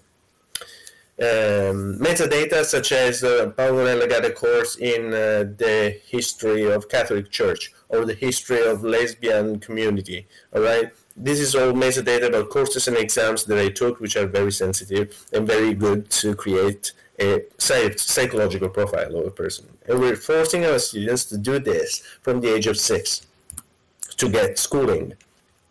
The legal issues from I'm no lawyer. I studied Latin, poor me, but uh, you know what are the legal issues? Why are school heads asking parents for a waiver? And the head school head of my daughter, for example, asked me to sign this waiver. What's the legal issue in the European Union?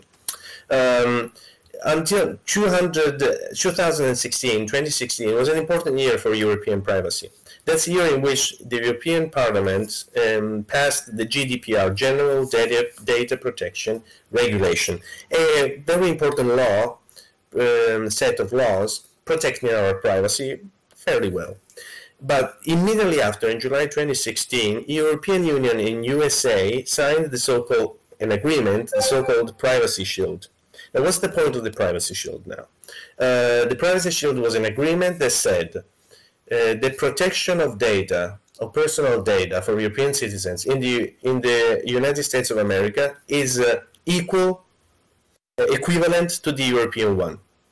So once uh, the, the data of personal data of European citizen of Paolo Monella crosses the, the ocean and goes from Europe to American data centers, it's okay, it's legal, because America is a civilized country and they protect our data.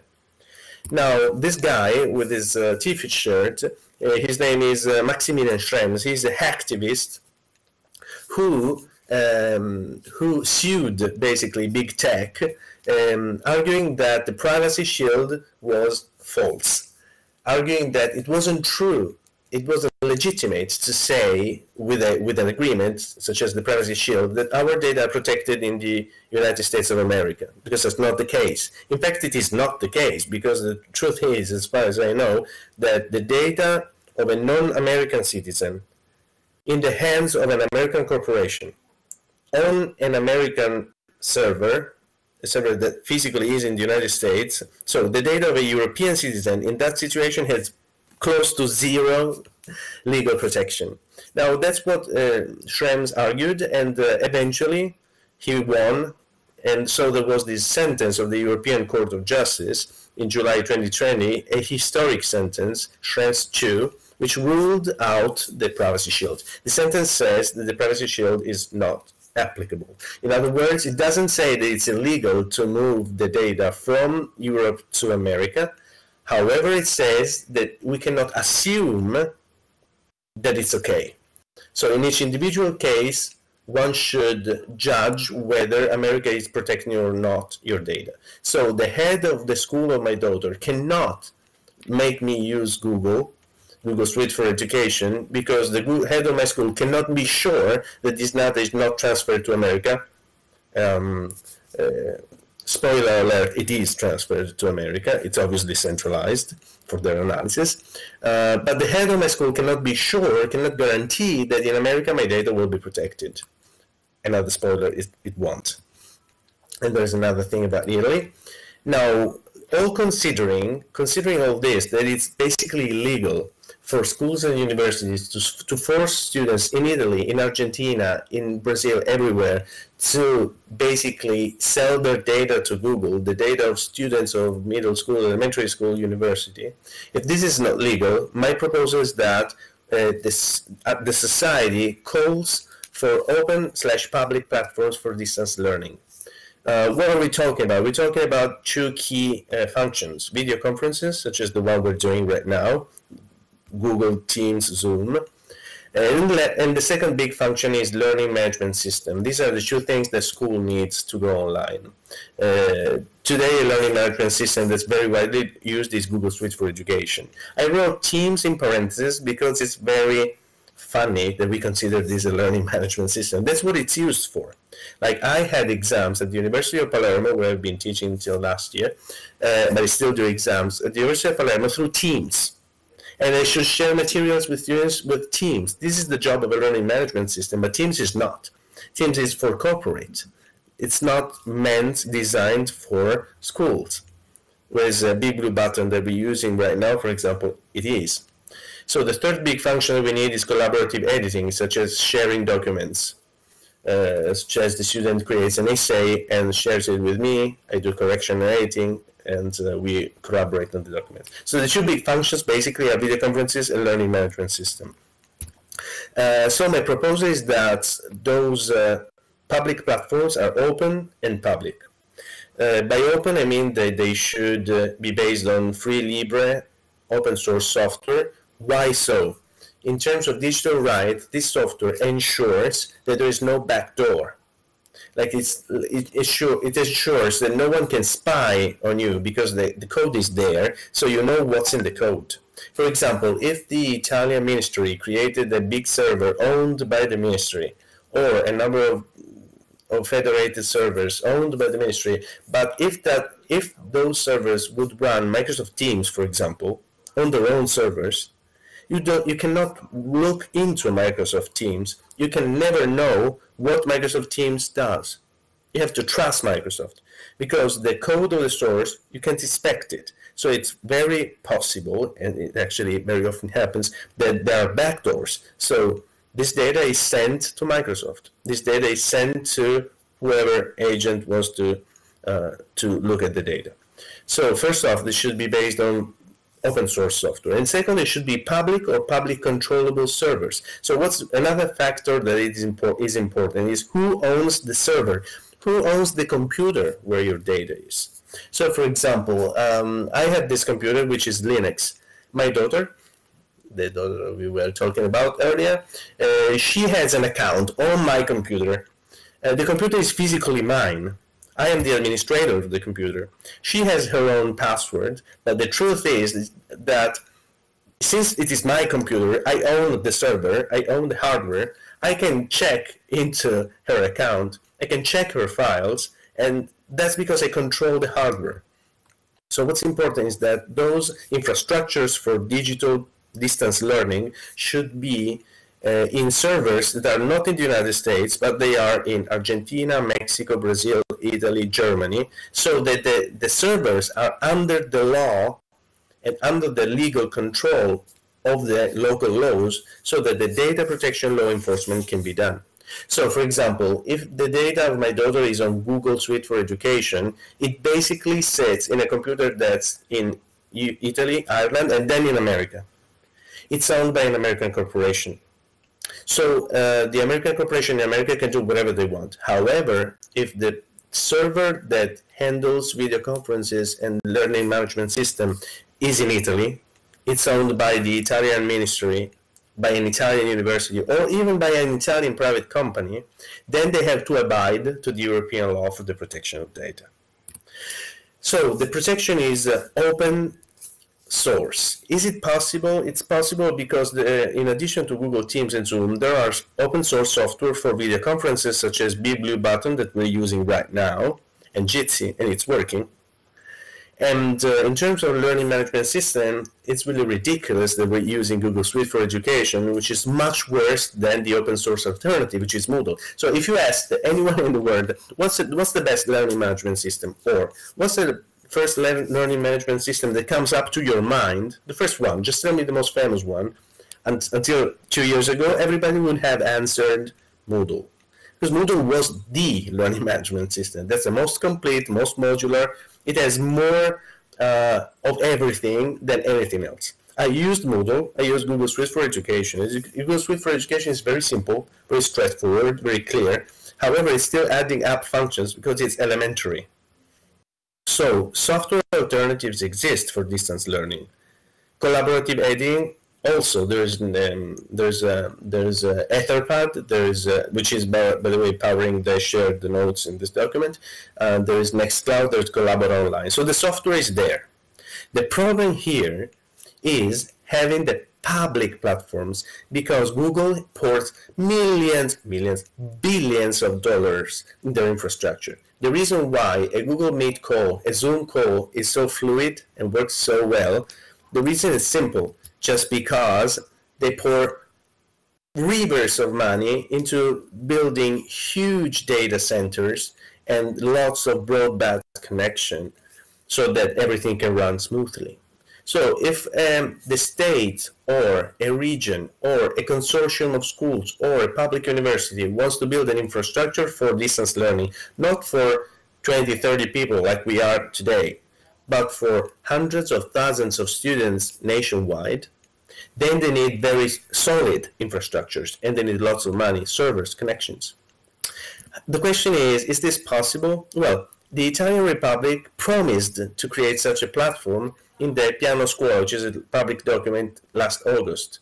And it's, it keeps promising that it's going to do it. This is an article from Tecnica della Scuola of December 2020, in which they keep promising it. Apparently, they're working on it. But is it feasible? Yes, it is, because France did it. France, the République Française, created it uh, last spring. So that the pandemic started in February. We closed our schools late February, early March, early March, I guess. Well, in the spring, after a few months, after a couple of months, France comes out with apps.education.fr. So, an, um, a, a, a, portal that provides free services, including web conference, you can see it here, all based on open source platform, all on public uh, servers. Web conference, PeerTube alternative to YouTube, Etherpad alternative to to Google Docs, etc., etc., etc., including web conferences, as I said. And this is uh, CNED, Ma Classe à la Maison, another website also providing those services. I'll go quickly because it's already 15 minutes. I'm going to close. Spain did pretty much, well, Spain is different because, as you know, Spain is more federal, so to speak. There's more independence of regions. So there's this SEDEC infrastructure um, organization nationwide, and the Generalitat Valenciana, I don't know how you pronounce it, is very much forward into the creation of such infrastructures, Extremadura as well. Germany is interesting because Germany is really federal. each large university, each large university obviously uh, does its own business, is independent, like pretty much everywhere, and schools depend on the individual region, the land. So we have a very diverse situation. I put two examples for university, two examples for school. Uh, University of Bremen uses Zoom. University, University of Heidelberg uses HighConf, which is based on free software. Uh, as far as school is concerned, they mostly use Moodle. Thank, I would like to thank Teresa Numerico and Domenico Fiormonte for the data they provided on this, on Germany. Uh, but Mecklenburg-Vorpommern uh, uses nothing, which means please use Google, use whatever you find because if the state or the region or the university or, or the school consortium doesn't take their own doesn't take on the responsibility to create the infrastructure like Italy for example or Mecklenburg-Vorpommern what happens is that the schools have no but even the universities have no resources a school one school is too little to create its own to install and maintain its own Moodle in the real world the state or the region or the city, public institutions must take on the responsibility to responsibility to do this. So, as I said, in terms of regions of Germany, uh, Mecklenburg-Pomerania does nothing. Die Freie Hansestadt Bremen instead uses Zoom, but it's implementing its own platform based on open source. It's learning. Okay, easily. Is it possible in Italy? In Italy, it is possible because the GAR consortium, which is a consortium of universities and research centers, created its own servers, and we're using those servers right now. And GAR, CNR, and other private volunteers created a network of servers. It's called iorestoacasa.org. However, and also GAR created a cloud in which you can install Moodle. However, these infrastructures have been built by a very little number of people, among which there is Massimo Carponi, who's, uh, who's in the audience today. Very few people in the GAR created this. But if you don't put millions of euros into these infrastructures, they cannot scale up to the thousands of, uh, to the hundreds of thousands of students that need it. Okay, there are a number of initiatives, last two slides, a number of ini initiatives uh, in Italy and around the world for this. For example, the piano scuola of the Italian Ministry, the open letter of Professor Meo, the open letter perché l'università delle piattaforme alla fine dell'università, supported by Domenico Fiormonte, Teresa Numerico and others today, an open letter that I promoted in the Associazione Italiana Informatica Umanistica, you see the image here, and of course the UNESCO Open Education Resources Initiative. My conclusions in one slide. Um, when the Kingdom of Italy was created in the in the in the middle 19th century, they inherited a situation in which the school, the Catholic, I'm sorry, the Catholic Church had a sort of a quasi monopoly on education. All right, but they decided, and they weren't big revolutionary, big Democrats necessarily, but they decided that education was a strategic infrastructure for the country, for the society, like like the army it was a strategic infrastructure. So the state needed to build a pre-digital infrastructure for education, elementary schools, organizations, public school, everywhere in the country. So they built little schools like this tiny one you see in the picture. Uh, they built it everywhere. Uh, in each village of Italy, they built an actual school. Um, because they wanted to gain independence in this sector. An objection could be, look, uh, if you rent if you rent an apartment for example okay when i was in middle school in sicily my middle school couldn't uh, ha- didn't have enough rooms for everyone. So they rented an apartment so i could go from a private person from a private person however when you rent an apartment from mr smith mr smith is providing the school with an external tool.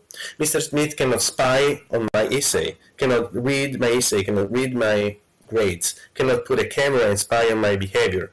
However, when you're using Google Suite for Education, it's an internal tool that goes very deep into the communicational uh, and knowledge mechanisms of education.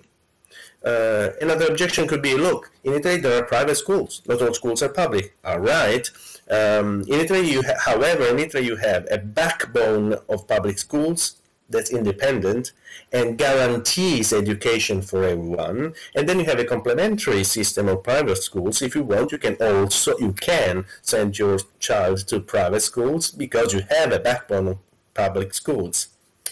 Instead, with digital infrastructures for education, because of the emergency, because we didn't know what to do in March, then we are we, we outsourced we are in the process of outsourcing digital learning to the big tech we are losing the independence of our of our societies uh, in such a strategic infrastructure, in such a strategic se- sector as learning. And digital infrastructures for education, such as Microsoft Tools or uh, Google Suite for Education, are not like the walls of a middle school. You can rent the apartment. It's an external school. They're internal schools.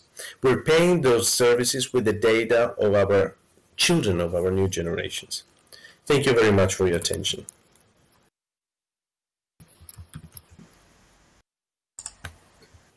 Muchísimas gracias, estupendo, Paulo. Eh, entonces ya podemos, segundo que voy poniendo mi, cámara, podemos empezar la, discusión.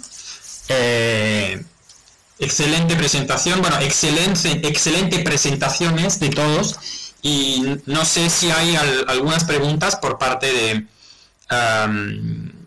de los oyentes. Eh.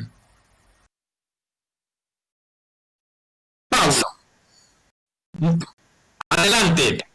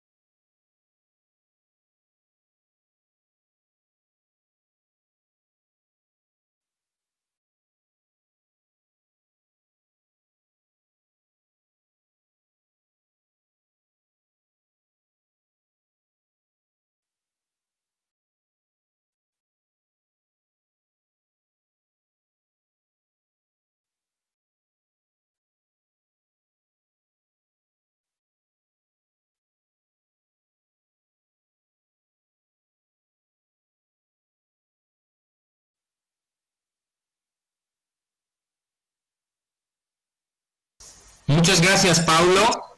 Eh, es una, un, punto que has añadido que es muy importante. O había, existían fondos y el gobierno apostó para el privado. Eso es, es, muy importante. Yo veo en la pantalla Javier, pero antes había una eh, pregunta de Ofray no sé si, si le podemos dar la, la palabra porque no es entre los ponentes, pero si quieres, si quieres, si quieres, Ofray, si me estás escuchando hacerla, eh, Paulo, ¿puedes apagar el micro?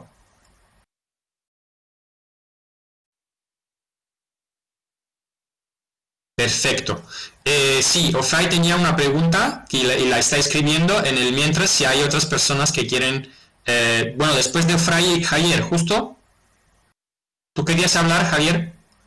Había prendido la cámara solamente, pero sí, igual quería comentar algo. Eh, bueno, muchas gracias por, las tres intervenciones, realmente... Espera, está, está la pregunta de, de Ofray, pero mientras, mientras la escribe, pues... Perdón, solo quería decir que... Sí, sí, Perfecto. sigue, sigue. Sigue, sigue. No, bueno, primero muchas gracias, realmente excelente exposición en las tres, realmente muy esclarecedoras. Eh, suscribo todo, sobre todo la última, lo que decía Pablo recién, suscribo todas las, las preocupaciones y, las, y los caminos ¿no? que hay que seguir, es decir, la, la necesidad de construir plataformas propias eh, basadas en otros principios, un poco lo que intenté eh, enmarcar en mi, en mi, charla anterior, digamos, ¿no? Por ahí me, me, enfoqué menos en lo político y un poco más en lo epistemológico, pero me parece que el camino es por ahí. Y que, pero quería, bueno, como siempre quiero hacer algo disonante, quiero disonar un poco con algunas de las intervenciones, en lo siguiente que por ahí un poco lo que decía recién eh, eh, Paulo, que es, eh, que es lo siguiente. En Argentina también, eh, por ejemplo, hay universidades privadas, a diferencia de Brasil, en general son de una muy mala calidad, es decir, la universidad pública está orden de magnitud por arriba de la privada, en términos de calidad académica. Son gratuitas, además, las públicas. O sea, Argentina tiene un sistema universitario muy extraño en un sentido, ¿no? o sea, muy, muy singular en Latinoamérica y, casi que en el mundo.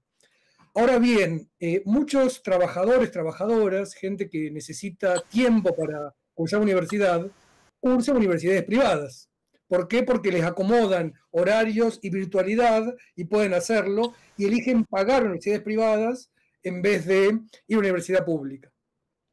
Y la pregunta, yo ayer justo hablaba con Mauri esto por teléfono, me parece que la pregunta que podemos hacernos hoy, una pregunta para incomodar un poco, es cuánto de toda esta virtualidad tiene potencial democrático. Es decir, eh, ¿en qué sentido tenemos que repensar docentes con capacidades de, operar virtualmente para democratizar la educación superior, sobre todo? Para llegar a lugares que no llegamos. Pongo otro ejemplo, un amigo que da introducción a la filosofía este año, cuando, empezó la pandemia, duplicó su matrícula respecto de los últimos 15 años. ¿Por qué? Porque muchos estudiantes que no habían podido asistir presencialmente a la, a la facultad pudieron asistir virtualmente. Sabemos, como decía Cecilia, que la virtualidad, eh, o como dijo Paola, eh, Paola hoy temprano, la virtualidad también tiene sus sesgos de clase, de género, eh, este, excluye también, pero también incluye. Yo creo que el futuro hay que pensarlo en esta combinación extraña que este año nos obligó a tener para poder, este, nada, democratizar aún más la educación superior, que es el objetivo creo que de muchos y muchos aquí. Javi, ¿puedo aportar una cosita, Doménico, en relación a lo que está planteando Javier? Eh, sí, puedes. En el mientras Ofray está, está escribiendo la, su pregunta. Venga, adelante. Sí, me parece que está buenísimo lo que plantea Javier porque, digo, en algunos casos la virtualidad es condición de posibilidad. Eh, en, unos trabajos que venimos haciendo con una cooperativa en el norte de Córdoba, por ejemplo, el uso de software libre era la posibilidad de usar tecnología disponible. No había otra, porque las máquinas a las que teníamos acceso eran viejas, que lo único sistemas operativos que corrían eran software libre, y además eran personas que no habían tenido un acceso previo, con lo cual el uso del software libre era absolutamente intuitivo, si se quiere, eh, dentro de lo que existe. Entonces me parece súper interesante lo que plantea Javier, eh, sobre todo en, términos de cómo se combina el mercado laboral en muchos casos con, con lo que es la oferta educativa en, en una región. Está buenísimo.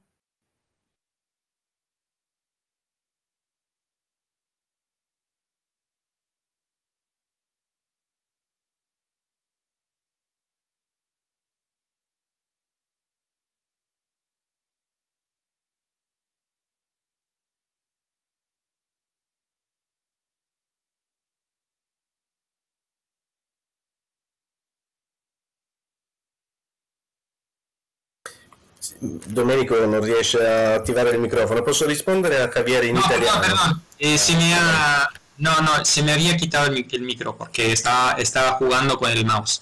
Que no sé si desde cuando... Eh, que sí, que Ofraya eh, forma parte además de una red que, nosotros, que yo estoy involucrado con, con Paula que se llama eh, Tierra Común y, y se dedican a, a, infraestructura, lo que se llama este proyecto de infraestructuras de bolsillo. Eh, Paolo, sería infraestructure da, da, da tasca, tascabili. Eh, es muy interesante lo que está pasando en Latinoamérica durante la pandemia porque hubo también muchísimo trabajo sobre eh, hardware, es decir, de no eh, digamos libre o, o, manipulado, transformado, ¿no? O sea, um, es, es, es, muy interesante y redes comunes también, ¿no? Es todo, todo un giro, toda una, una, una serie, digamos, de, de soluciones que se, se, encontraron sobre la marcha en, la emergencia, pero muy interesante desde el punto de vista de la relación con el con digamos el, el no solamente el código, ¿no? pero con la, la, máquina, digamos, no, el no sé cómo decirlo, el hacking de las máquinas, ¿no? El hacking de, el hacking de las infraestructuras el hacking de la red, muy, muy, muy interesante. Pues, eh, ¿qué dice Ofray? Hay ejercicios de autopublicación, visualización y activismo de datos desde sistemas pensados para conectividad baja o intermitente que no intenta replicar el aula convencional. En este diálogo norte-sur globales hay una oportunidad para repensar el aula y la práctica educativas.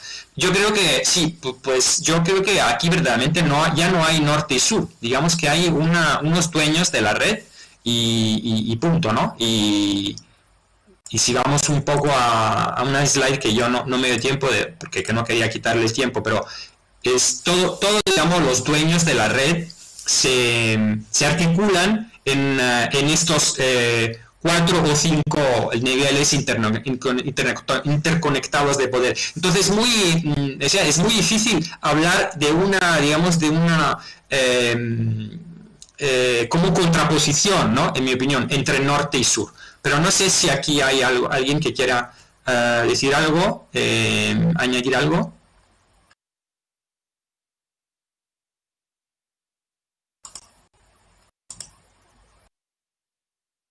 Bueno, mmm, si puedo decir algo eh, de eso, lo, lo, lo, lo, encuentro, me parece muy interesante. Hay dos concepciones de la democratización, una más libertaria, eh, que, viene, que, llega del bajo y otra que llega del alto, ¿no?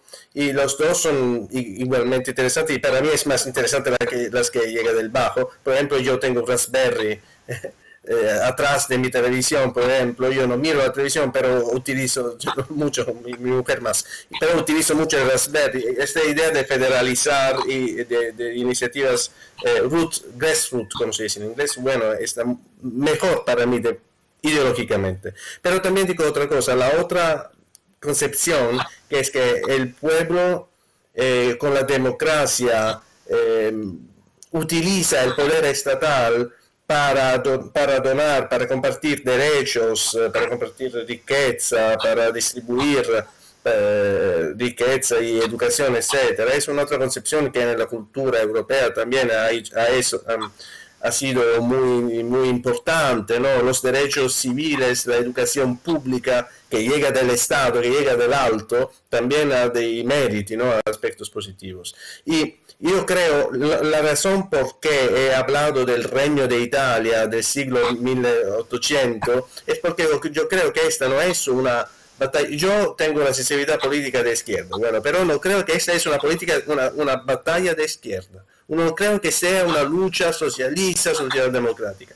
Creo que sea una lucha para los de derechos humanos. Y creo que podemos tener eh, aliados la gente que, crea, que cree en el mercado, que cree en la libertad de la escuela privada como libertad ideológica, porque cuando nos decimos que necesita que el Estado tiene soberanía sobre los eh, datos personales de los estudiantes, que eh, la formación es una es un sector estratégico para el Estado y la infraestructura eh, pública controlada para las leyes del Estado, no otros, solo las leyes como la GDPR, la regulación de, de, de, los, de, los, de los datos privados personales en Europa. Creo que esa sea una lucha en la que cualquiera persona de todos los orientamientos mm, políticos eh, puede ser de acuerdo y creo que esto estratégicamente sea importante. Estratégicamente para conseguir resultados. Eso. Pues no sé si nos faltan 10 minutos a las 9, no sé si Valeria, que es eh, al fin, bueno, la coordinadora de la primera parte y además ha sido, digamos, mi anfitrión, anfitriona, eh, porque me ha, me pidió de, ¿no? de apoyarle y, y en, esta, en esta iniciativa que creo que es muy muy importante. ¿Quiere añadir algo? Y si no, no sé si nos está escuchando. O, Mauricio, que también no quiero agradecerle para... le, queremos agradecer todos para, para la traducción y su constante apoyo. Eh, quería decir nomás dos cosas. Eh, a ver si puedo poner la cámara. Eh, primero que Paolo habla muy bien español, me podría haber ahorrado la traducción. Eh, se entiende muy bien, Paolo. capito muy bien, muy bien, español. No, quería decirles que me pareció excelente este panel en, en sus dos partes y simplemente desde la desde la coorganización en la que estamos en el foro, sí pedirles eh, si puede haber, que le estamos pidiendo a todos los paneles, ¿no? Lo vamos a hacer en todos los paneles, eh, alguna síntesis de uno o dos párrafos en donde podamos eh, poner estos puntos principales de propuestas, tanto de diagnóstico como de propuestas de acción, ¿no?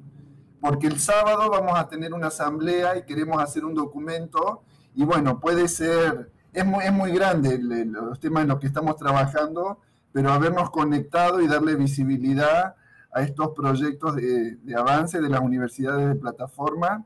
Eh, bueno, en, buena, en buena hora, enhorabuena mejor dicho, que podamos eh, hacer preguntas, como decía Cecilia, eh, muy, acá deciste una expresión más vulgar en español que es romper las pero bueno, está bien eh, con las preguntas, ¿no? Como que quienes toman decisiones están acostumbrados a mucha impunidad. La educación a distancia, al menos en Argentina, eh, con el tema de la autonomía de las universidades, por un lado, y por otro lado, con eh, la, que eso es una conquista, ¿no? La, la, autonomía de la universidad. Pero también en algunos casos depende del gobierno de las universidades una discrecionalidad muy grande para la toma de decisiones sobre la implementación de algunos software. También hay autonomía en las facultades, eso en todas las universidades en Argentina también. Entonces también eso es interesante porque no, no cierra la decisión muchas veces de los gobiernos de las universidades, ¿no? Y más en una universidad como la de Córdoba, que es gigante. Son 20.000 profesores, son más de 100.000 estudiantes. Eh, y bueno, trabajar en esa autonomía, ¿no? Me parece la idea de las plataformas públicas tiene que ver con una idea de autonomía universitaria que viene de, bueno, nuestra reforma acá en el 18, ya se hicieron 100 años, ¿no? Y, bueno, tendríamos que hacer una autonomía universitaria 4.0 eh, para, para estas plataformas públicas. Nada más, gracias.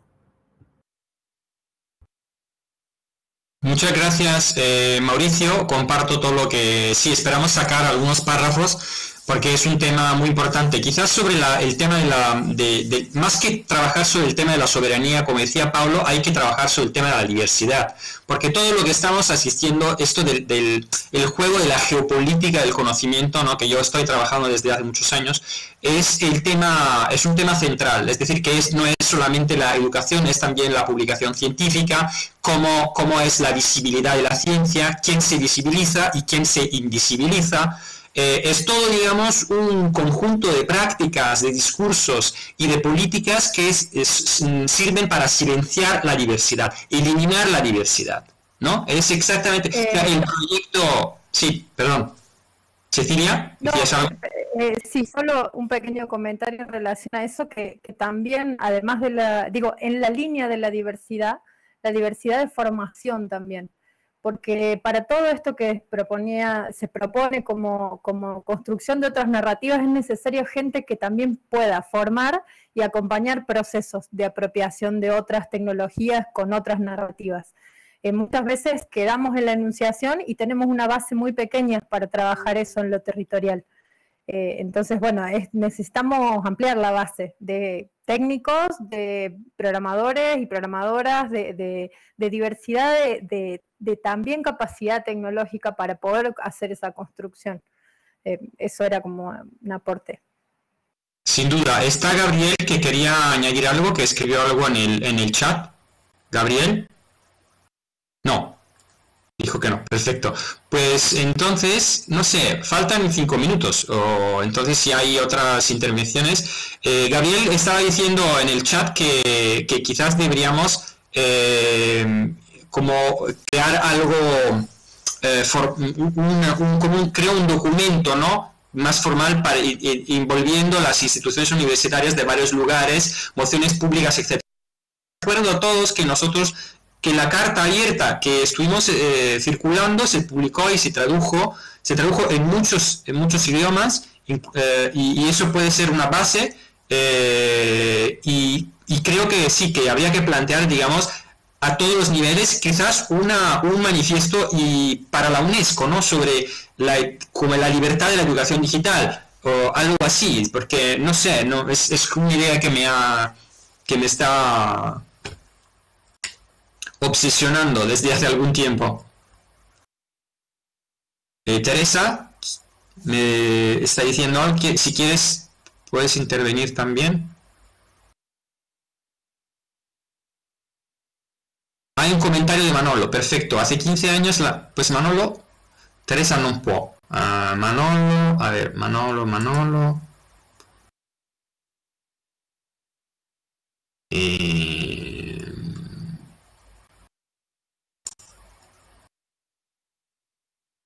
Teresa, a ver si puedes decir, te veo sin micrófono.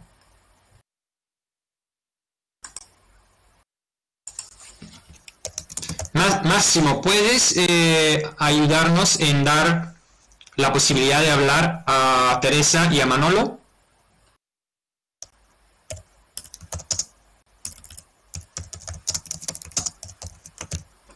mientras voy terminando la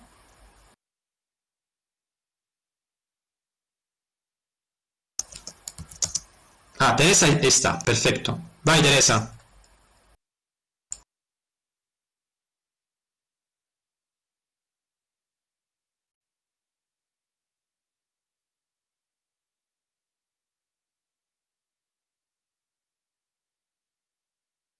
Teresa, eh, puedes hablar, ¿eh? ¿No? ¿Todavía no? Teresa, tu ascolti, sì, però ti vedo ti vedo ma non hai il microfono, perché? Oh.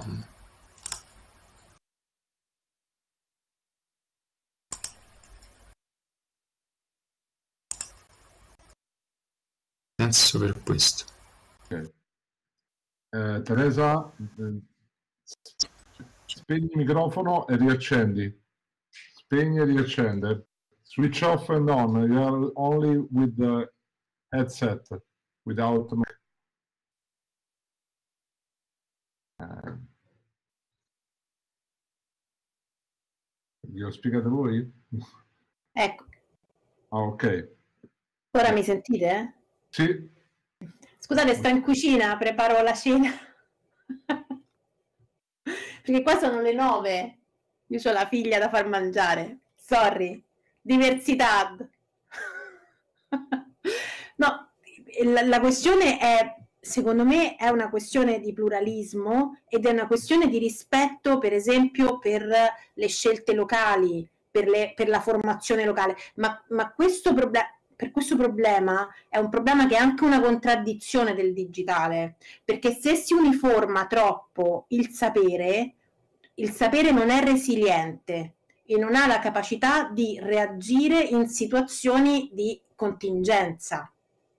Quindi questo è un rischio che corre questo, questo metodo. Gli egiziani sono crollati come civiltà proprio per questo motivo qui, perché hanno irreggimentato il sapere, uniformato il sistema di sapere e opacizzato i criteri attraverso i quali la conoscenza si costruiva e questo li ha fatti implodere. Quindi io penso che qua c'è pure una contraddizione di questo sistema potenzialmente che va sfruttata.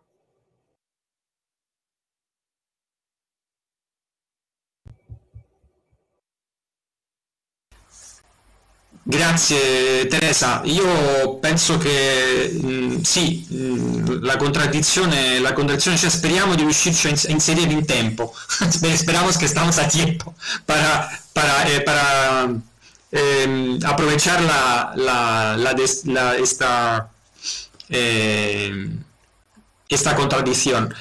Valeria Pinto, bueno, eh, había una, una pregunta de Manolo, bueno, un comentario de Manolo que está en el chat, que dice que hace 15 años la brecha digital separaba entre lo info excluidos y lo info incluidos, y ahora parece que la brecha digital separa entre los info fundidos por, las GAFAM, los GAFAM, y los info expulsados de las redes. Entonces dice, tendríamos que comenzar a pensar en un nuevo hackerismo de las, de las TIC, de las, de las tecnologías digitales, capaz de producir información, comunicación y conocimiento dirigido, dirigido al bien común.